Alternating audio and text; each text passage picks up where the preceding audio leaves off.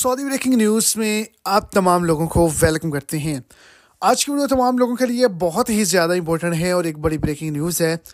जैसा कि अब तमाम लोगों को मालूम है कि सऊदी अरब में जो हैं, वो काफ़ी ज़्यादा पाकिस्तानी इंडियन बांग्लादेशी लोग जो हैं, वो काम के लिए गए हुए हैं।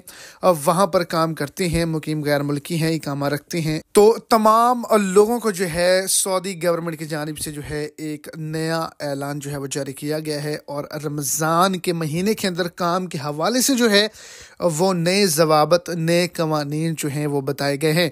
ख़ास तौर पर जो कफ़ील और कंपनियाँ हैं, उनको वार्निंग अलर्ट जारी किए गए हैं। अगर कोई भी कफील कंपनी ऐसा करेगी तो उसको जो है वो काफ़ी बड़े नुकसान का सामना करना पड़ेगा।